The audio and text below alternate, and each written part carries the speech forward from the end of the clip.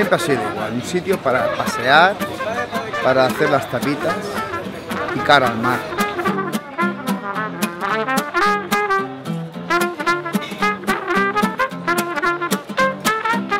La patata se trabaja, se consigue una masa más fina, se le pone un poquito de carne dentro, se, se fríe al momento y, y se ponen las salsas que son las especiales. Y el que tiene bomba, casi ninguno la hace él, o sea, las compra congeladas. Todos los de la Barceloneta quisimos hacer lo que hacía, porque la bomba enseguida cogió mucho arraigo. No estoy seguro de que el origen sea aquí, a lo mejor sí que lo es, pero es bastante incierto. Pero el fondo, el fondo del... no lo sé. Cada vecino tiene su versión y yo creo que es una incógnita.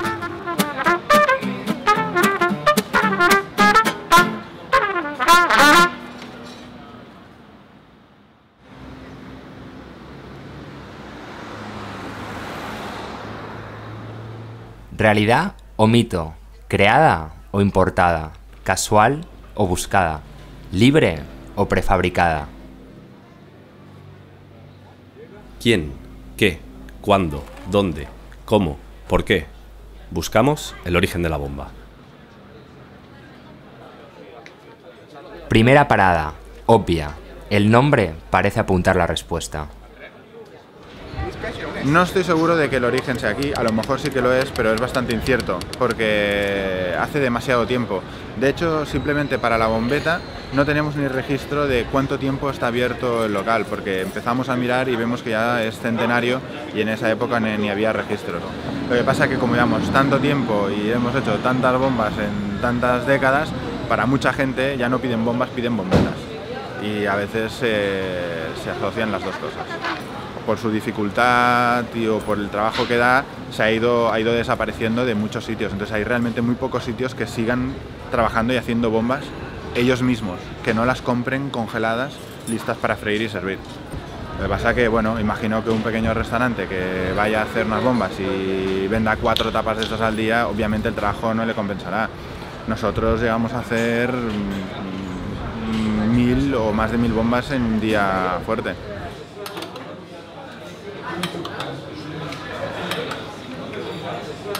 El logotipo, el logotipo sí que es un globo aerostático y parece ser que en los orígenes, en la época, aquí en la Barceloneta, había un descampado para globos aerostáticos.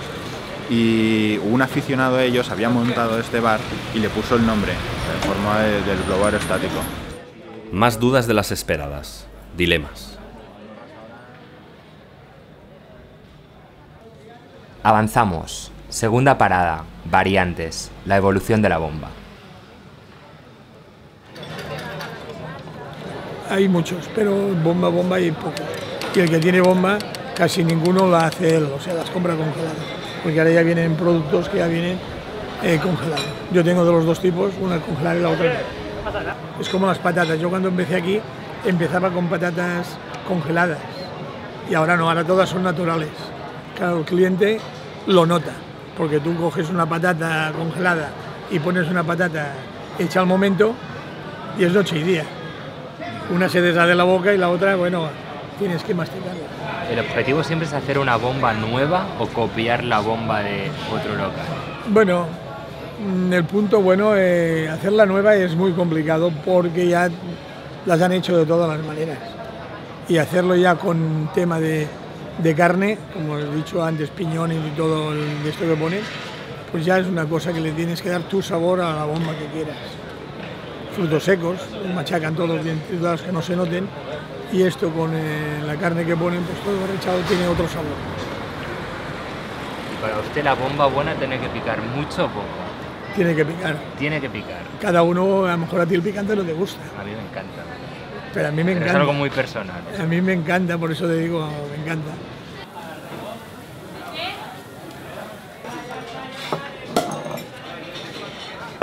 Esas son las bombas normales y esta es la bomba eh, congelada, pero bueno, como si fuera natural porque es- tienes que conocerlo bien para que sepas que es congelada o no congelada. Eh, Y, esta tiene un poco más de picante, porque ya que me habéis dicho que gusta más de picante, he puesto de Tabasco, que es un poco más picante que lo demás. Tras las alternativas, la realidad. Sobre tonel, la bomba es más bomba.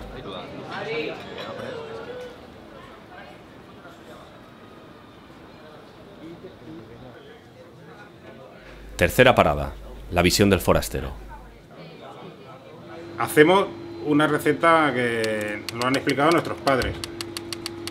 Con un poco de cada uno que nos ha dicho, porque le hemos ido variando desde, desde que abrimos el bar, porque hay gente que le gustaba, gente que no, y con el consejo de la clientela que hay aquí, que son los que mejor saben lo que es una bomba y como hemos ido variando un poco la, la forma de hacer. La Barceloneta fue el primer sitio que se bombardeó y mira, eh, tuvo su aceptación en su, hace ya casi 40 50 años que la bomba es una cosa conocida. Y yo creo que por el carácter de los barceloneses, ¿no? Porque al ser la Barceloneta machacada a bombas, pues a lo mejor han querido probar el, producto originario de aquí de la Barceloneta, yo que sé, a lo mejor como solidaridad o como no olvidar lo que pasó. Y por eso la gente aún consume la bomba. Con los ecos de la guerra civil, el pasajero inesperado. La piedra roseta. ¿Qué va, qué va a? Yo tengo 84 años y yo nací en la bombeta y sé toda la vida de la bombeta como ha sido, porque siempre he vivido allí. Y yo sé que nosotros no inventamos la bomba. Ahora, la casualidad es que era la, la bombeta y después hicimos bombas. Las tapas vinieron en el año 50 o 55. Entonces empezaron a hacer tapas y ya empezaron a hacer como tapa los caldos, como tapa muchas, no sé, banderillas, estas cosas que, se hicieron como tapas. Y también se hizo la bomba. Entonces, todos los de la Barceloneta quisimos hacer lo que hacía, eh, porque la bomba enseguida cogió mucho arraigue, mucho, mucho, la gente le gustó, porque era, era una cosa que- que- te la comías y, quedabas un poco satisfecho. Era, era una cosa de, ya le digo, como una bola de patata, que era muy semejante a una bomba de aquellos tiempos, y que picaba como un demonio, si querías, pero como un demonio, que a veces la ca- cataban, a veces venían chicas con chicos, y, "Ah, cómetela, no, no, que te pique, que pique, que pique, aquella mujer. Pues le teníamos que dar entonces un vaso de agua caliente, porque claro, el, vaso de el agua caliente dilataba el poro y lo lavaba un poco, porque no podías beber agua fría, porque entonces se, cerraba el poro y entonces ya no podías vivir de lo que picaba aquella, aquella porque era cayena, era, era, era cayena lo que, lo que le dabas a aquella, a aquella persona. Y cuanto más picaba, la gente, la gente que iba contigo más se reía para ver la cara que hacías. La bomba la hizo, o sea, la inventó la cova fumada. Ellos inventaron esa patata que después pusieron carne encima y nosotros pues o la perfeccionamos o la hicimos de otra manera. Cada uno tiene su manera de, presentarla. La historia nos marca el destino. El lugar, claro. La ruta, certera. Parada y fonda. La cova fumada. El bar tiene 70 años de historia, más o menos. Empezaron mis, mis abuelos, continuaron mis padres, nosotros, yo y mi hermano, y ahora está mi hijo mayor. Eh, somos los inventores de la bomba, mi abuela en particular, hace 60 años. De aquí salió. Eh, después, claro, hubo negocio, empezaron a copiar por todo el mundo, pero la bomba salió de aquí. Mi abuela hizo una croquetita de las suyas. Y hostia, mamá, ¿por qué no la, la podríamos vender? Y bueno, empezó a hacer unas cuantas y mi padre la probó, sí, muy buena, pero le falta algo. Entonces mi padre pensó, si le ponemos un poco de alioli y un poco de picante, ¿qué te parece? Vale, venga, va, probemos. Y ya está. Aquí ya fue rodar. La bomba se lo, lo inventó un cliente que teníamos, que la probó picante, no tenía nombre entonces. ¡Joder, esto es una bomba! Tío, como la patata como picas una bomba. Entonces mi padre Kling le puso el nombre de bomba, gracias a este, este cliente, a los dos años de inventar. ¿eh? Antes era una croqueta. Hay una que es con alioli solo y no pica nada. Esa se llamaba de hembra. Pues había una que tenía alioli y un poco de picante encima. Se llamaba de marica, por aquello de mitad y mitad. Después estaba la fuerte que se llamaba de macho. Claro, en estos tiempos ahora la gente pues tienes que tener mucho cuidado en decirlo.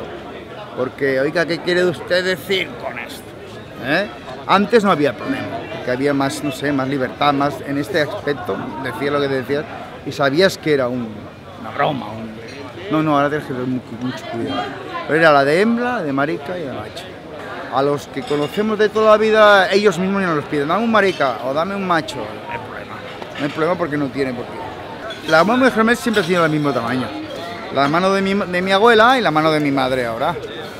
Lo que cabía dentro, la, la- la parafernalia que hacen ellas. Y la mía, porque yo también hago. ¿no? O sea, y, y ya está. ¿no? Y no- ni más me puede salir un día un poquito más grande, pero es mínima. ¿no? Porque es manual, o sea, es una cosa que de artesanía. No se hace con máquina. Fuera con máquina, clac, clac, clac, clac, no. Eso es hacerla cada una a una por. Aún seguimos teniendo el truco. Porque la bomba es buena aquí porque tiene truco. Los otros ya lo harán. Y no lo dicen. Y si por mí no lo sabrán nunca, eso.